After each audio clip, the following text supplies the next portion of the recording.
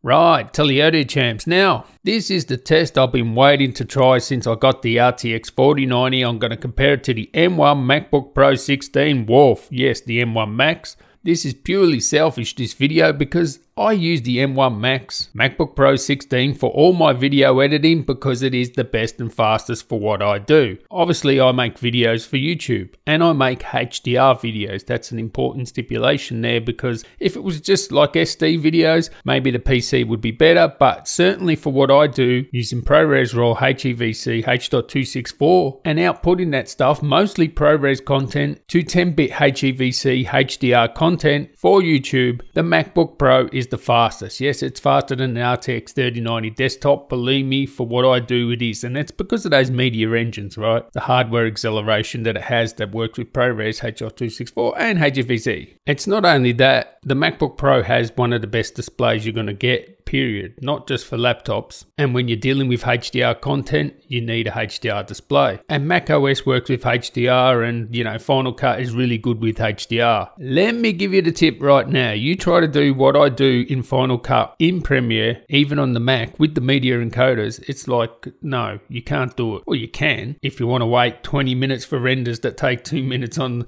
you know, Final Cut. And that's because it doesn't use the hardware acceleration going from the ProRes to, you know, 10 bit HEVC HDR. But there is a new Premiere Pro. Now I have a HDR display on my PC. We've got the latest NVIDIA GPU. We've got the latest Premiere Pro version. So now I'm going to test again because I have no loyalties to anyone. I don't care. Whatever is the fastest and the best, I will use. Currently, that is the Mac and Final Cut. Now let's see with the latest Adobe HDR display on the PC with an RTX 4090. And I have a 12900K RTX 4090. I have the TUF version, the Asus TUF version version. This is one of Asus's like premium RTX 4090s, super quiet, excellent cooling, has a 33% extra power limit, very premium. I have a couple of videos on it, go check it out. But let's see, right now, can I use a PC now? Is it going to be faster and better than the M1 Max MacBook Pro 16? All right. So, as I discussed before, the reason I had MacBook Pro 16 M1 was because it was literally fastest for what I use, you know, ProRes RAW, HEVC, H.264, etc. So, let's see if this 4090 makes a difference. This is a new version of Premiere Pro. So, let's see here if it's viable for me to now go to an RTX 4090, which I may do now. So, what's going on here? All right. So, we have ProRes RAW. There, these files here. So, I'll chuck the ProRes RAW in do ProRes RAW 23 frames per second. That's how I output.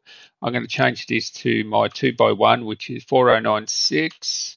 I think it's uh, 2048. Yeah, 2048. We'll just do that. And we want here not Rec 709. We want HLG. Okay, so HLG, ProRes, HQ. That's fine. Everything's good here. And that is my project. Perfect. All right, so I'm going to drag the ProRes in we want to keep existing settings, drag this oh, ProRes in. And I'm going to make here the exact same project I've done in on my Mac, and we're going to test the render speeds and what happens here. So it was five minutes. So now we have it exactly how I had it set up with my uh, MacBook Pro, and we're going to test the render speeds and whether it's viable. So first thing is I've just got to put my adjustments. So because I'm outputting to HDR, mate, what have they done to Premiere? I don't know what the hell's going on with this thing. Effects control, that's the one I want. Click on this one. We want to change this to Vlog. There's nothing I have to do with that, nothing I have to do with that. They are both already HDR. Now, one thing about Premiere, this is a 1000 nit monitor, and so far it just doesn't look right, but we'll just do the adjustment, see if it works out. Because the good thing about the Mac is you've got the HDR display and Final Cut handles HDR well and Mac OS handles HDR well. So if I can't see this properly on this screen, it's a problem, right? One thing I found out about this is I'm downloading a lot here, but also I had to download ProRes Reader or whatever from Apple. Otherwise, Premiere does not even read ProRes. Now, already in Final Cut, I'd be halfway there already, but let's just lift this up, this footage. Lift this down. Okay, it's starting to look decent now. It's weird what I have to do because it's HDR now. Uh, okay, let's see. All right, so that's looking decent. Now, going from that to that, you can see, yeah, all right, so it looks decent now to me. All right, so I'll just do some corrections here. We need some contrast, maybe some vibrance. Oh, yeah, yep, that looks that looks fine. Uh, just add some contrast. Yep, that that looks good. Like I've probably oversaturated, but it doesn't matter. It looks good. Like I can see this is HDR content. This is HDR display. This looks good. All right. So I've got a drop frames indicator here, which is green. I'm playing it back with the color graded ProRes RAW. No problems playing that back. And actually, what I will do is bring up this task manager and see what, what's happening. Let's play back this ProRes RAW. So I'm playing that back. I'll bring up this. As you can see here, I'm not dropping frames, but as you can see here, I'm missing Intel HD because I need to enable that. So let's do that. All right, so now I've enabled Intel HD. You can see there it says Intel UHD graphics. So it's very important. I don't get fooled into thinking that the Ryzen is better for content creation because it's not. Because you've got single core of Intel, you also have Intel integrated graphics, so you have quick sync. So it's going to be using both of these. Anyway, let's see with ProRes RAW, everything done there, what happens, what I'm using. First of all, green here, okay, so no drop frames. And if we have a look here, we're using 100% of the GPU. So not the Intel UHD, it's using the NVIDIA GPU to do this and a little bit of the CPU. So that's good. All right, so I'm just going to copy and paste those settings onto this, which is ProRes RAW. So I just paste those attributes, uh, everything the same. Yep, boom. So, oh, there we go. There we go. Now have a look at that. That looks wonky, right? Because one thing I haven't done to this effects control, I haven't changed it to here vlog. And there you go. Boom, it comes right back. Change that to vlog. Actually, don't even know if the LUT's applied. So let's have a look here. We've got a LUT applied to that. And this one here, we do have the LUT as well, so that's good. And if we just look at those scopes, yeah, um, this one's a little bit more overexposed, but doesn't matter. Motorbike, all right, so this is H.264. So what happens here when I play this? All right, we're still using GPU plus. Now you can see we're using Intel HD as well, Intel UHD. This is why Intel's better for video editing on PC. Now, one thing is, this doesn't look right. Now, this is flat footage, but it still just doesn't look right, like on this monitor. And this is a HDR monitor, but I'll just bring it back up. On on the Mac, it looks no problems with this on the Mac. All right, so the darks are too dark now. Still, that red just looks wrong to me. So this might be an issue. So on the Mac, the red will look all right. We'll just leave it for now. This is how I would sort of, you know, put it in HDR. And we can see there using UHD graphics. Now, what do we use for this? This is here. This is HEVC. All right, HEVC, it looks like we are using 100% of the, no, we're actually using, so here we can see we're using UHD graphics and the GPU, so the 4090. So we're using both. All right, so as far as I can tell, actually, the scrubbing is really good. It's pretty good. I'd say, honestly, the Mac, I think, scrubs a bit smoother with the H.264. H.265, no problems. That's smooth. But the H.264, 60 frames per second, it's still good, but I think the Mac is a little bit smoother there. But as you can see, are we dropping any frames? Not dropping any frames there. Dropping any frames here? No. Dropping any frames here on the 60 FPS. Hey, uh, H.264, no frames being dropped there. No frames being dropped here. So happy days, good scrubbing, everything works out. Now the big deal here is how fast is this going to export from all these different you know, H.264, HEVC. ProRes RAW, how is it going to export to HEVC 10-bit HDR? I showed you in Premiere on the Mac.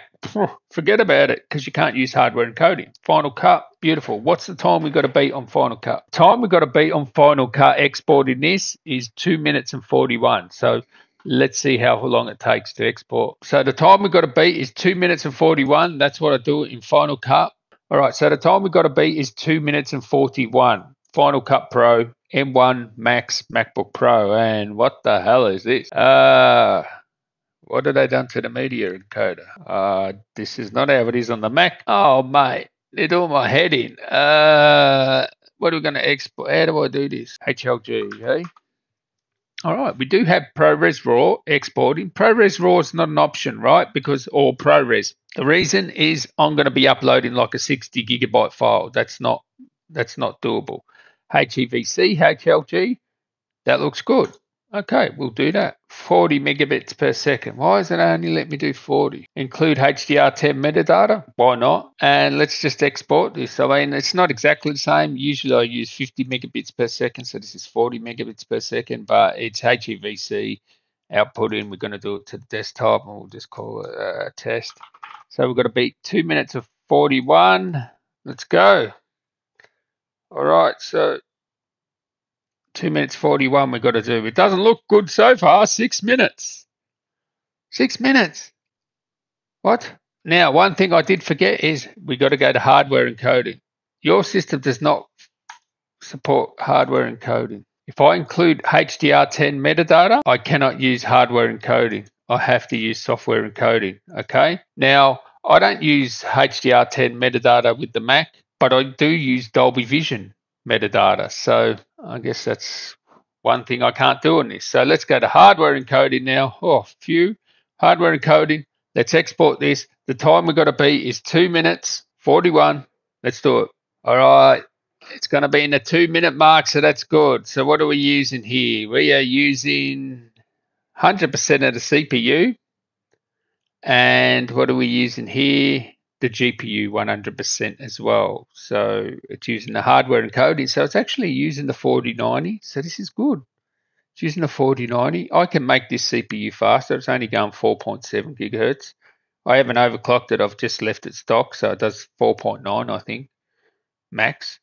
Um, yeah, I should have overclocked it, but whatever. We'll just leave it standard. The MacBook Pro was standard, but you can see here it's going to be within the two minute mark it's going to be right there, I think. So now we're using Intel HD. See that?